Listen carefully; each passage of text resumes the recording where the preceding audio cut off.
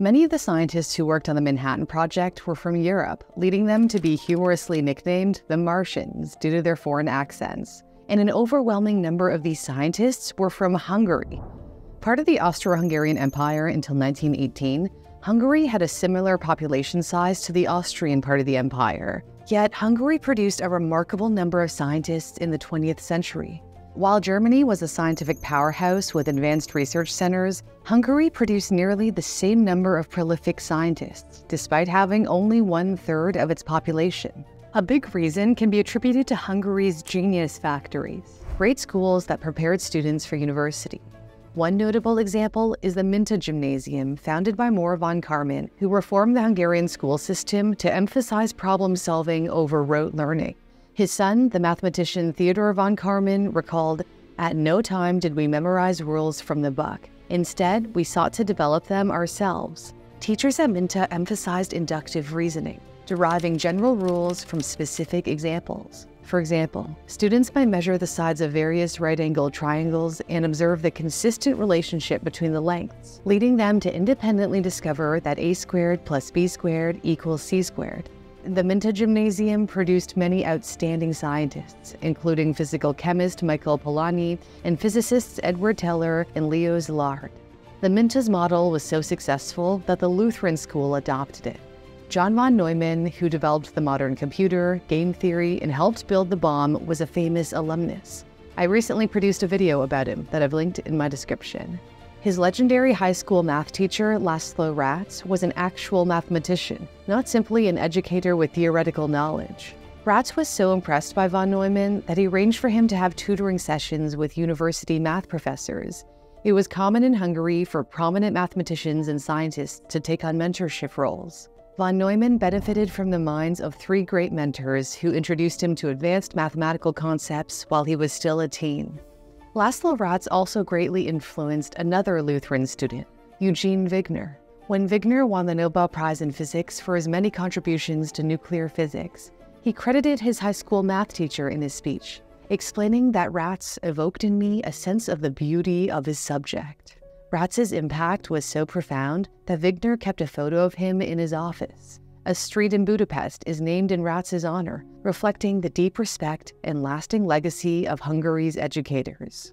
This kind of mentorship extended beyond high school. When completing his PhD, Wigner was grateful to be taken under the wing by Michael Polanyi. What a mentor Michael Polanyi was. Polanyi advised Wigner's doctoral dissertation and gave him a place in his laboratory at the Kaiser Wilhelm Institute in Berlin. Wigner wrote fondly about Polanyi's mentorship in his autobiography. Polanyi took an interest in all of his assistants, but I felt that he liked me especially. Polanyi even loaned me a bit of money when I needed it. But his finest gift was to encourage my work in physics, and this he did with all of his very great heart. In all my life, I've never known anyone who used encouragement as skillfully as Polanyi. He was truly an artist of praise.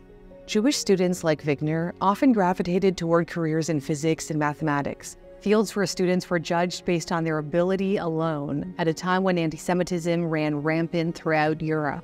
Jews in the Russian Empire faced brutal pogroms that threatened their lives. This postcard shows pogromists celebrating the murder of Jews with shots of vodka. Alcohol often fueled their rampages. In Germany, anti Semitism was on the rise even before the Nazi era, with Jews often being blamed for economic and political issues, limiting their prospects. This pressure created a heightened sense of urgency among Jews in Europe to succeed. As John von Neumann noted, there was a feeling of extreme insecurity in the individuals and the necessity to produce the unusual or face extinction. He's saying that fear drove Jews to strive to be extraordinary in order to ensure their survival. The Austro Hungarian Empire was more inclusive than other European regions. Emperor Franz Joseph granted Jews equal rights, declaring the civil rights and the country's policy is not contingent in the people's religion. Jews were elevated to the highest echelons of society. John von Neumann's father Max, a successful banker and lawyer, became an economic advisor to the Hungarian government. The emperor's reign was marked by an unprecedented peaceful period in Hungary, during which the arts, literature, and sciences flourished. However, Hungarian Jews were well aware that their fortunes could turn, and they did. The good times ended soon after the death of Franz Joseph in 1916. The Austro Hungarian Empire collapsed after World War I, creating a power vacuum that fueled a surge of nationalism in Hungary. Riding this wave, Hungary's wartime leader, Admiral Miklos Horthy, seized power in 1920, establishing a right wing regime that discriminated against the Jewish population. Many families of the scientists converted to Christianity to avoid discrimination. Young, ambitious, bright Jewish students no longer had a future in Hungary or in many other parts of Europe. Germany was the leading nation in scientific research at the time, but Hitler's policy of purging the nation's universities and institutions of Jewish scientists led to its decline. Meanwhile, America welcomed these brilliant scientists with open arms and fat wallets. Princeton University offered Eugene Wigner more than seven times what he earned in Berlin. Leo Szilard fled Germany in March 1933, reportedly the day before the borders closed, which led him to conclude if you want to succeed in this world, you don't have to be much cleverer than other people. You just have to be one day earlier. Szilard conceived the nuclear chain reaction, theorizing that certain elements, when bombarded with neutrons, could produce more neutrons, leading to a self sustaining chain reaction. When the highly unstable uranium 235 nucleus is struck by a neutron, it becomes uranium 236. This newly formed nucleus is so unstable that it splits into two smaller atoms, such as krypton and barium. In the process, more neutrons are released, which strike more U 235s, causing a chain reaction and a massive explosion.